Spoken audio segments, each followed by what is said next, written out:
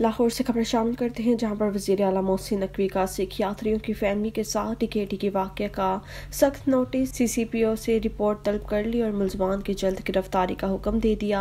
निगरान वज़ीर अला पंजाब मोहसिन नकवी ने गुलबर्ग में सिख यात्रियों की फैमिली से टिकेटी के वाक्य का सख्त नोटिस लेते हुए सी सी पी ओ लाहौर से रिपोर्ट तलब कर ली।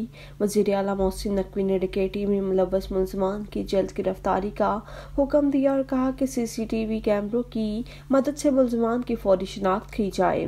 अड़तालीस घंटों में मुलजमान को कानून की गिरफ्त में लाया जाए। मोहसिन नकवी का मजीद कहना था कि गुलबर्ग जैसे इलाके में सिख फैमिली से डकेटी का वाक़ संगीन गुफलत है।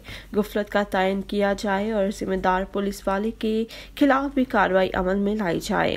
वज़ीर अला का कहना है कि सिख यात्री हमारे मेहमान हैं और उनका तहफ़ हमारी ज़िम्मेदारी है। मुतासरा सिख फैमिली से पूरी हमदर्दी है। मुलजमान कानून की गिरफ्त से नहीं बच पाएँगे।